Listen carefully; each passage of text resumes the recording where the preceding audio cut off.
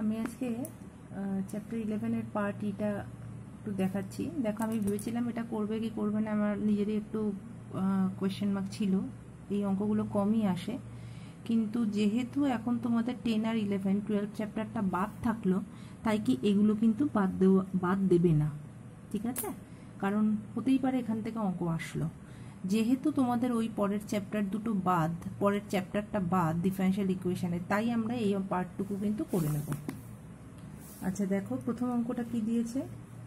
প্রথম অঙ্কটা দিয়েছে F dash X equal to X E to the power X হলে এফ এক্সের মান নির্ণয় করো। তাহলে এফ ড্যাশ এক্সের থেকে আমরা কীভাবে পাবো? ইন্টিগ্রেশন করে। তাহলে দুপাশে আমরা এফ ড্যাশ এক্সের ইন্টিগ্রেশন করলাম এফ এক্স ডিএক্স করে এটারও ইন্টিগ্রেশন করলাম। এবারে এটার ইন্টিগ্রেশন করার পর আমরা একটা কী পাবো? সি পাবো, তাই তো? তাহলে এখান থেকে পাবো কি? এফ এক্স ইকুয়াল টু এটা করে ইন্টিগ্রেশন করে আমরা একটু প্লাস সি পাচ্ছি। এইবার দেখো আমাদের এফ অফ জিরোর মান দিয়েছে ওয়ান তাহলে এখানে এক্সের জায়গায় জিরো বসিয়ে এটারও জিরো বসালে আমরা সি এর মানটা পাচ্ছি, সেটা বসালে আমরা এফ এর মানটা পাচ্ছি। অর্থাৎ এখান থেকে আমরা সি এর মানটা বার করব, সাধারণ সমীকরণ বার করব। পরেরটাও ঠিক একই টাইপের তিন নম্বর অঙ্কটা দেখো।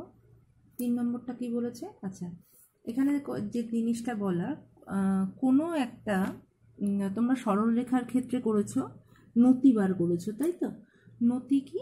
যে সরলরেখা বা কোনো গ্রাফ এইরকমভাবে সরি যখন এইরকমভাবে এসে এই যে কোনটা তৈরি করে, বা এখান থেকে ধরো যে গিয়ে এই যে কোনটা তৈরি করে, এই কোনটা কি আমরা ট্যান থিটার সাহায্যে বার করি, তাই তো? এই যে বা এটাকে আমরা কি এম দিয়ে প্রকাশ করি? এই ট্যান থিটাটাকেই আমরা এইখানে ডেরিভেটিভের সাহায্যে যখন করি আমরা ডিওয়াই বাই ডিএক্স অর্থাৎ কোনো একটা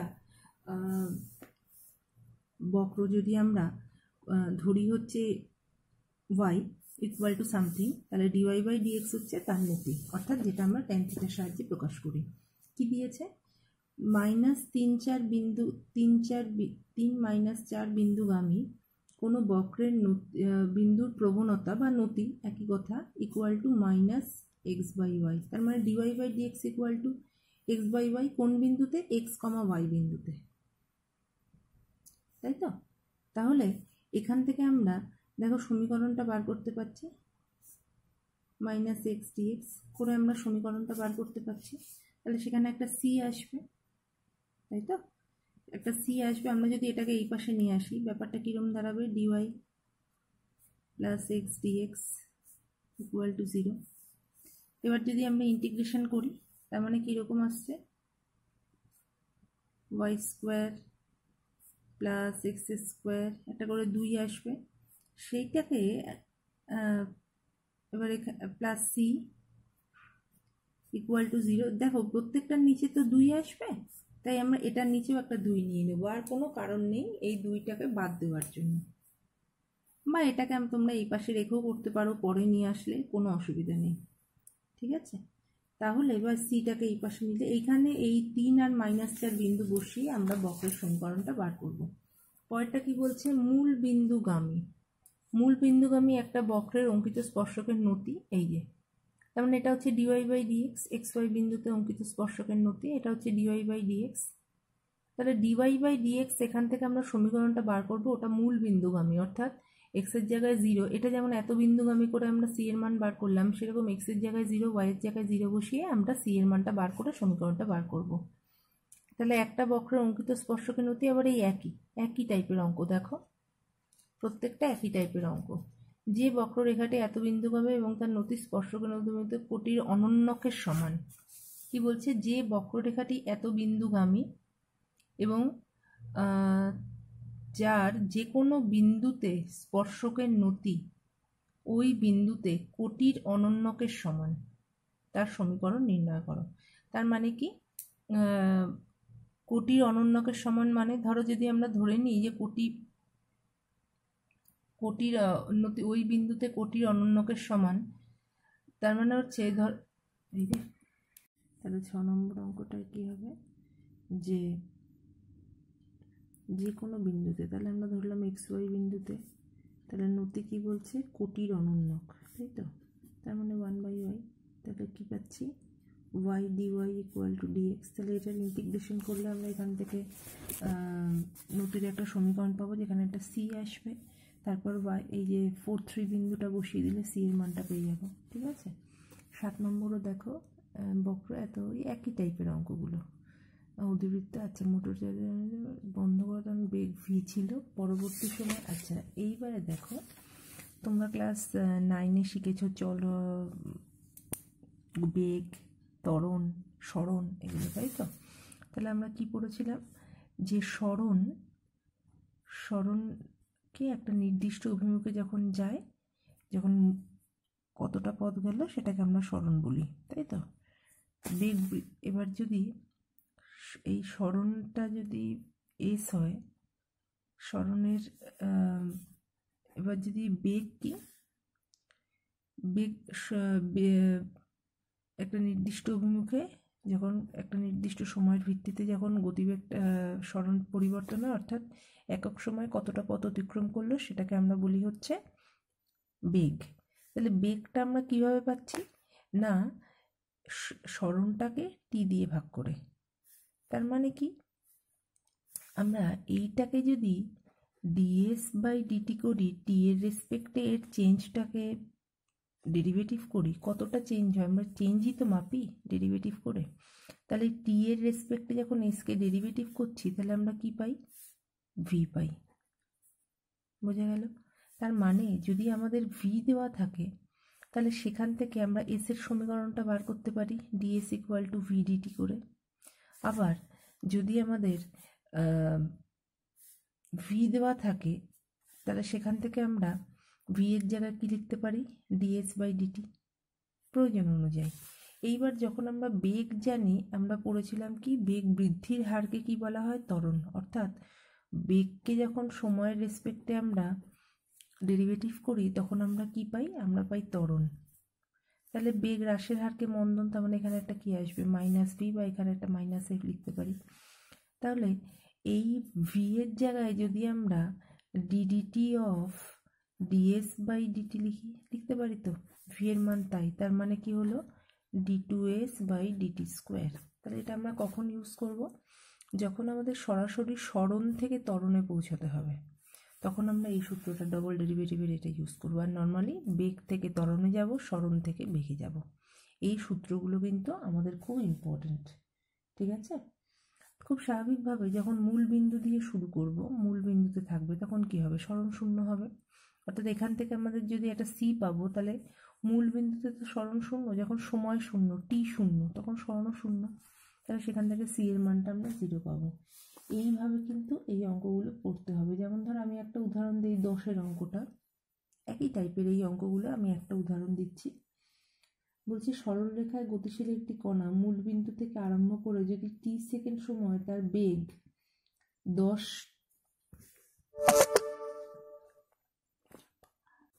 দেখো, দশ নম্বর অঙ্কটা কি বলেছে?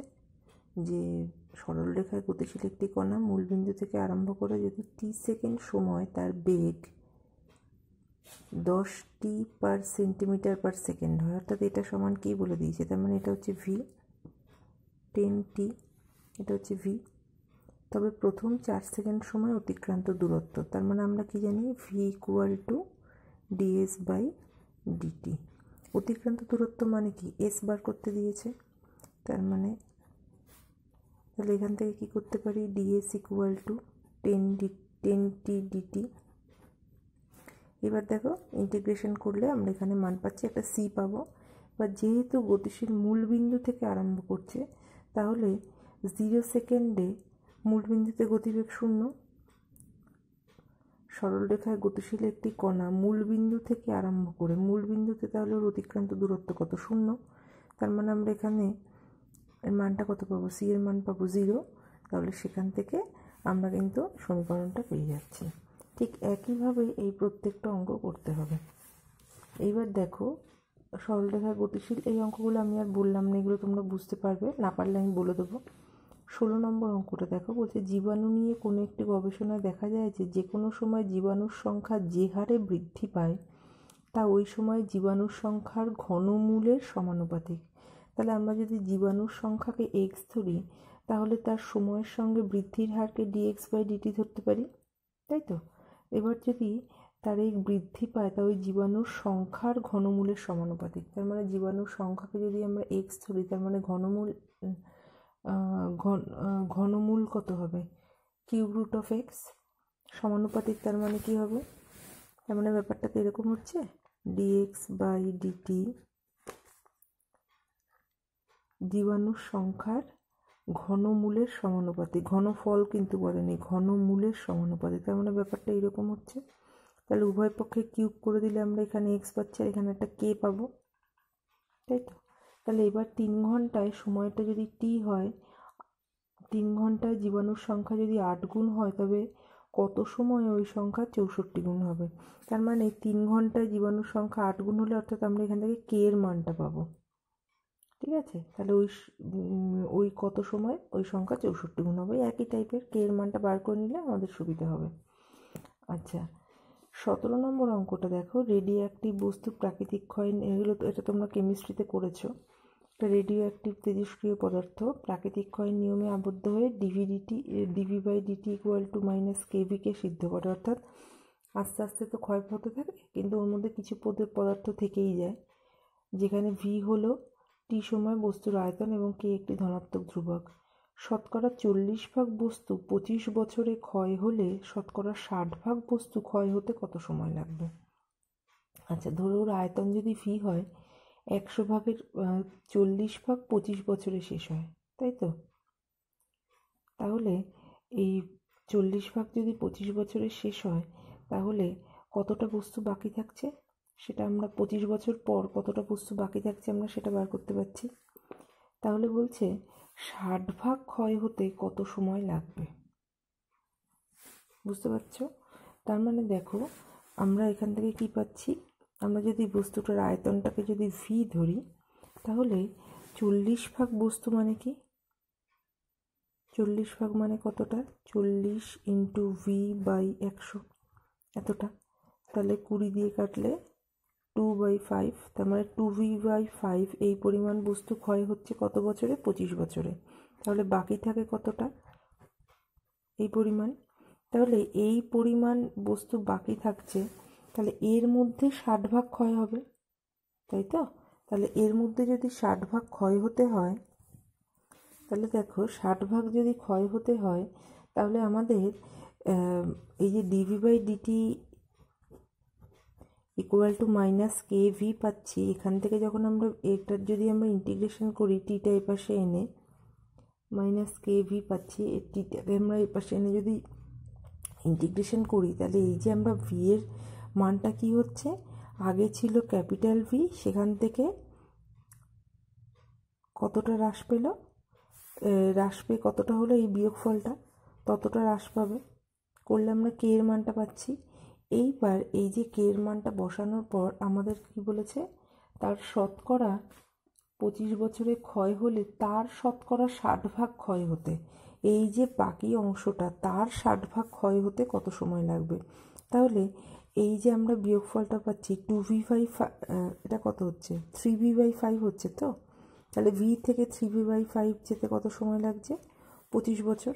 তাহলে এই ভি থেকে থ্রি ভি বাই ফাইভ যেতে এখানে আমরা কে এর মানটা পাচ্ছি। তাহলে ষাট, ওই শতকরা ষাট ভাগ বাকি যে ভাগটা থাকছে সেটা হতে কত সময় লাগবে? ঠিক আছে? তাহলে এতটা যায় পঁচিশ বছরে। তাহলে বাকি যে অংশটা থাকছে সেটা কত বছরে যাবে? এইভাবে বার করতে হবে।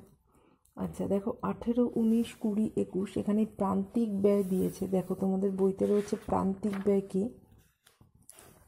তো তোমাদের বইতেই সূত্রটা রয়েছে। কি দিয়েছে দেখো? যে উৎপাদিত এককের কোনো এক পর্যায়ে যখন মোট উৎপাদন ব্যয় দেওয়া থাকে, তখন বাড়তি এক একক উৎপাদনের জন্য যে অতিরিক্ত ব্যয় হয়, তাকে অর্থনীতিতে প্রান্তিক ব্যয় বলা হয়। তার মানে কি? যে ধরো একটা মেশিন, ধরো একটা মেশিন এক ঘন্টায় একশো, দশটা পার্টস তৈরি করতে পারে। ঠিক আছে? এই যে তাই, তাহলে উৎপাদিত এককের কোনো এক পর্যায়ে যখন মোট উৎপাদন ব্যয় দেওয়া থাকে, তখন বাড়তি এক একক উৎপাদনের জন্য তার মানে ধরে থাকে নর্মালি ও একশো দশ টাকায় এক ঘন্টায় দশটা পার্টস তৈরি করে। এবার যদি আমাদের আর একটা বেশি করতে হয়, সেক্ষেত্রে যে খরচটা পড়বে সেটাকে বলা হয় হচ্ছে প্রান্তিক ব্যয়। তার মানে কি করছে দেখো? যে মোট উৎপাদন ব্যয় যদি সি হয় আর এককের সংখ্যা যদি এক্স হয়, অর্থাৎ কতগুলো তৈরি হচ্ছে, সেটা যদি এক্স হয়, তাহলে উৎপাদিত এককের সংখ্যার কোনো পর্যায়ে প্রান্তিক ব্যয় হলো উৎপাদিত একক সংখ্যা সাপেক্ষে মোট ব্যয়ের পরিবর্তনের হার। অর্থাৎ কতগুলো তৈরি হচ্ছে এবং তাতে কত টাকা ব্যয় পাল্টাচ্ছে, সেইটাকে বলা হয় হচ্ছে প্রান্তিক ব্যয়। তাহলে প্রান্তিক আয় কি? একইভাবে বার্ষিক একক একক বিক্রয়ের জন্য মোট আয়ের যে পরিবর্তন হয়, অর্থাৎ মোট আয় চাহিদার অপেক্ষক রূপে দেওয়া থাকলে, অর্থাৎ চাহিদা যদি বেশি হয়, আয়ও বেশি হবে। তাই তো? তাহলে ধরো বাজারে একটা জিনিসের চাহিদা অনেক বেশি, তাহলে উৎপাদনটা সেইভাবে হয়। এবার ধরো উৎপাদন অনেক বেশি হয়ে গেল, কিন্তু চাহিদা পড়ে গেল, তখন কি হবে? জিনিসগুলো পড়ে থাকবে, বিক্রি হবে না। তাই তো? তখন কি হয়? শেষ বাজারে গেলে কি করে? দেখবে শেষ বাজারে যদি কখনো সবজি কিনতে যাও, সবজিগুলো অনেক তাড়াতাড়ি বিক্রি ছেড়ে দেয়। তার কারণ তখন চাহিদা কমে গেছে, তাই ওরা লস হলেও ছেড়ে দেয়। বোঝা গেল? তাহলে এইখানে কি হচ্ছে? যে মোট আয় চাহিদার অপেক্ষক রূপে দেওয়া থাকলে চাহিদার কোনো পর্যায়ে প্রান্তিক আয় হলো চাহিদার পরিমাণ সাপেক্ষে মোট আয়ের পরিবর্তনের হার। ঠিক আছে? তাহলে এক্ষেত্রে কী হবে? DR by DX DR R হচ্ছে মোট আয় যা এক্সের সাপেক্ষে অপ এক্সের একটা অপেক্ষক। প্রতি এককের দর পি চাহিদার পরিমাণ এক্স মোট আয় আর হলে R equal to P X এটা তো বুঝতেই পারছ। ধরো এক কেজির দাম দশ টাকা। ঠিক আছে? বাজারে জিনিসটা আনলো। ধরো বাজারে বেগুন বিক্রি হচ্ছে। নর্মালি প্রথম দিকে গিয়ে দেখলে বেগুনের কেজি ষোলো টাকা। ভদ্রলোকের কাছে যে বিক্রি করছে, তার কাছে ধরো কুড়ি কেজি বেগুন আছে। কুড়ি কেজি বেগুনের তাহলে ষোলো টাকা করেও বিক্রি করলেও কত টাকা পাবে? তিনশো কুড়ি টাকা। তাই তো? এবার ওর তিনশো কুড়ি টাকা মোট আয় হওয়া উচিত। কিন্তু সময়ের সঙ্গে সঙ্গে যেটা বলার, তাহলে প্রান্তিক আয় কত হবে? না, প্রান্তিক আয় equal to P X M R equal to DR by DX তাহলে P plus X into DP by DX কিন্তু সবসময় কি তাই হয়? সবসময় কি হয়? যে শেষ বাজারে যদি বিক্রি করে দেয়, তখন কি হবে? মোট আয়ের থেকে মোট আয় যা হওয়া উচিত ছিল, তার একটু কম বেশি ওর হয়ে যাবে। তাহলে এইখানে বলছে, প্রান্তিক ব্যয় এত টাকা। টেন চব্বিশ X minus three X square X হলো উৎপাদিত একক সংখ্যা। যদি স্থির ব্যয় চল্লিশ টাকা হয় আচ্ছা স্থির ব্যয় কেন বলছে? স্থির ব্যয়টা হচ্ছে আমাদের এই সিটা বার করার জন্য। অর্থাৎ যখন আমরা ওগুলো বাকিগুলোকে এক্সের জায়গায় সব জিরো ধরবো, যে চল্লিশ টাকায় এমনি ব্যয় হবে। অর্থাৎ ধরো একটা মেশিন চলছে, কিছু উৎপাদন হচ্ছে না। ঠিক আছে? কিন্তু মেশিনটা যে চলছে, তার একটা উৎপাদন খরচ আছে। কিছু উৎপাদন না হলেও, ধরো একটা কারখানা খোলা আছে, সেদিন কোনো কারণে উৎপাদন হলো না। কিন্তু কারখানা খোলা হলো ইলেকট্রিক মেশিনগুলো চলল ইলেকট্রিক ফ্যান ট্যানগুলো চলল, তাতে কিছু টাকা খরচ আছে। তো সেইটাকে হচ্ছে স্থির ব্যয় ধরা হচ্ছে। অর্থাৎ একটা ইকুয়েশনটা বার করার পর যখন প্লাস সি আমাদের আসবে, তো সি এর মানটা হবে সব জিরো জিরো করে সি এর মানটা হয়ে যাবে চল্লিশ। বুঝে গেল? তাহলে মোট ব্যয় এবং গড় ব্যয় অপেক্ষক নির্ণয় করো। বুঝতে পারলে? তাহলে এখান থেকে আমাদের যেটা দিয়েছে, প্রান্তিক ব্যয়টাকে এখানে আমাদের কি ধরা হয়েছে? প্রান্তিক ব্যয়টাকে মনে হয় সি ধরা হয়েছে, তাই তো? প্রান্তিক ব্যয়টা হচ্ছে আর এটা তো আর ধরেছে, প্রান্তিক ব্যয়টাকে সি ধরেছে। তাহলে তাহলে এটা যদি আমাদের DC by DX DC by DX equal to কত দিয়েছে? দশ প্লাস চব্বিশ X minus three X square তাহলে এখান থেকে আমরা ইন্টিগ্রেশন করে সি এর মানটা বার করতে পারব সমীকরণটা বার করতে পারব। তাই তো? এবার করলে এর মোট ব্যয় সিটা হচ্ছে মোট ব্যয়। তাহলে এই সি এর মানটা বার করতে পারছি আর স্থির ব্যয় বলে দিয়েছে হচ্ছে কত? চল্লিশ টাকা। যদি স্থির ব্যয় চল্লিশ টাকা হয়, তাহলে এখানে আমরা এই সি এর মানটা বার করতে পারব। অর্থাৎ কনস্ট্যান্ট তোমরা এক্ষেত্রে যেহেতু দুটো সি হয়ে যাচ্ছে, তোমরা কনস্ট্যান্টটাকে কেউ লিখতে পারো। ঠিক আছে? তাহলে কে এর মানটা, আমরা এখান থেকে কনস্ট্যান্টটাকে কে ধরো। এইবারে কি বলেছে? যে গড় উৎপাদন ব্যয়। গড় কি হয় আমরা? দশটা নারকেল গাছ থেকে একশো কুড়িটা নারকেল নামলো, গাছের সংখ্যা দশ। প্রত্যেক গাছ গাছ থেকে গড়ে কটা নামলো? বারোটা। অর্থাৎ আমরা এই সি এর মানটাকে, এখানে উৎপাদন সংখ্যা কি? এক্স তো। এক্স দিয়ে যদি ভাগ করে দিই, যা বেরোবে, সেইটা হচ্ছে গড় উৎপাদন ব্যয়, ঠিক আছে? তাহলে বাকি অঙ্ক দুটো একইভাবে করো। তারপরে যদি কোনো অসুবিধা হয়, আমাকে গ্রুপে জানাও।